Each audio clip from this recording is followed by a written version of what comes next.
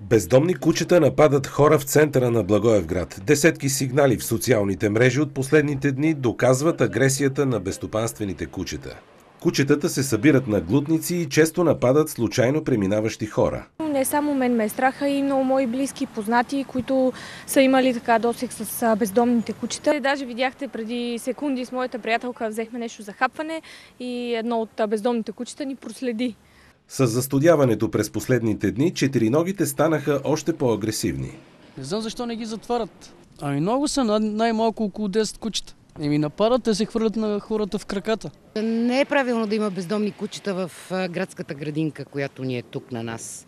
Децата влизат да играят. Местната управа чипира кучетата и ги пуска отново на свобода. Тяхната популация обаче непрекъснато се увеличава. Проблемът ще се реши с кастрация и изграждане на нов приют. Ще изградим един, как да кажа, временен приют с модулни клетки за, за кучета и съответно в 3 или 4 фургона ще поставим необходимото оборудване за осъществяване на тази дейност. Новото съоръжение е на етап проектиране. До няколко месеца ще започне и неговото изграждане. За новините на ТВ+, Светлин Карпачев.